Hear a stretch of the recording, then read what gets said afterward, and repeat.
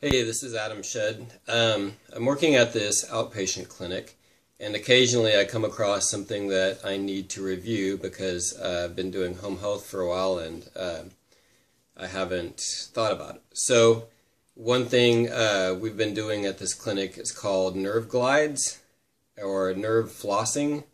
And um, to review, what it's for is anytime you have mechanical dysfunction or things that aren't supposed to be where they are, uh, you have lack of motion in the nerves. And so um, apparently, and from what I read on the NIH website, it's somewhat anecdotal.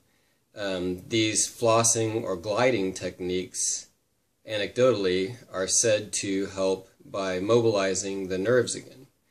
So you can kind of see how the nerves go back and forth with these movements and I'll show you the two that we've been using. Um, the first one you do supine. So my leg, this this leg would be flatter, and then your back's going to be flat, and then you just go back and forth. So this would be good for the common sciatic nerve problems, low back pain radiating down the leg that we get all the time.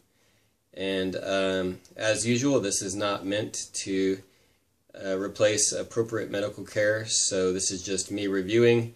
If you have any thoughts, comments, or corrections, or insights for me, please post in the comments, and I'll see you soon. Thanks.